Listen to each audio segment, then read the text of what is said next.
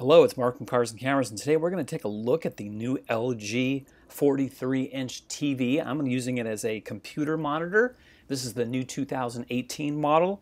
Uh, this is these LG monitors are really cool because uh, every year they get better and better and cheaper.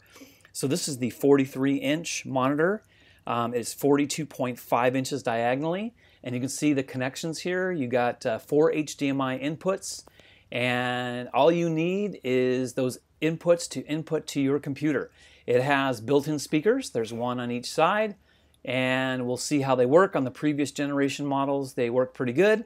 So we're going to go ahead and hook this thing up now and see how it is. It's one simple connection you see here to the Mac Mini uh, and we'll work on other computers and we're going to get 4K out of this monitor. So when we get it hooked up here, we will uh, get 4K. So here we go. Here is 4K and the monitor out of the box will do 30 hertz. And yes, there is software to make it do 60 hertz, but 30 is really not that bad if you just want to plug and play. And here you can see a little sample with Final Cut Pro. It works pretty good. Uh, actually, I think it works really well. And it gives you a lot of screen real estate. So uh, previously, I had unboxed the 41 inch models and getting just that little bit extra uh, out of the monitor, a uh, few in extra inches, uh, it looks pretty good. You can see here's a full screen uh, playback um, out of Final Cut Pro. It's a really, really, really nice TV to use as a computer monitor. Now, some uh, features of this one, if you're using it as a TV, uh, it does give you uh, true motion, uh, 20, 120 hertz, and it is HDR compatible. Um, it also is a, a, smart TV, so it will have the apps built into it. But for my purposes, I'm just showing it to you uh, as a computer monitor, but you can surely use it um, as a television if you want to. Uh, it's a great 4K TV and very inexpensive. And as I said before, it's just one simple HDMI connection. I'm going to show that to you again. Here it is, one HDMI connection to the TV. You want to make sure you're using the latest HDMI cables when you hook it up. Okay, let's take a look at the text on a web page and you can see it looks pretty good. This is the web page for this monitor and it looks really, really nice. Now, I also get questions, um, how does it work uh, looking, you know, at still photos, uh, you know, how do they look? Because, you know, I'm just showing video. Well, let's take a look at some still photos and see what you think. Um, I think they look pretty good.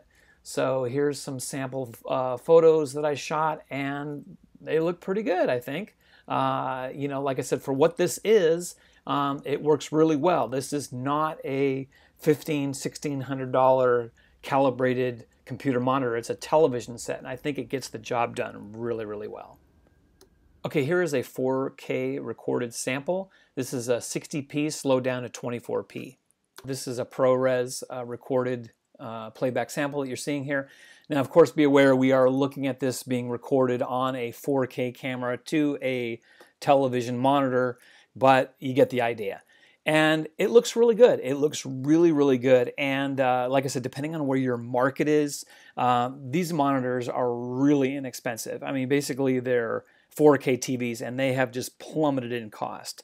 And uh, you can really get a nice computer setup uh, if you go with the Mac Mini uh, or you know if you like a PC, uh, you know I like the Mac Mini for editing, and it works really well with Final Cut Pro. So you can get an editing system uh, really inexpensive here with using a monitor like this, and a fraction of what it would cost you to have a uh, Mac Pro. And um, to display some rumors out there, you can definitely record.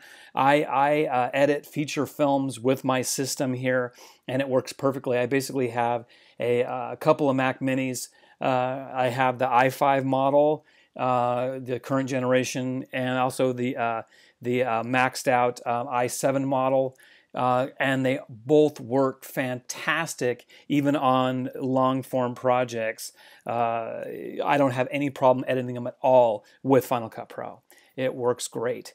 Um, so that's it, guys. Thank you so much. Um, if you haven't subscribed to my channel, be sure to hit that subscribe button. Uh, be sure to hit that notification bell so you can see all my new videos. Um, and thank you very much. And we've got some nice and exciting uh, equipment coming up very shortly to share with you. And so, so be sure to tune into my channel frequently. Thank you very much and have a wonderful day.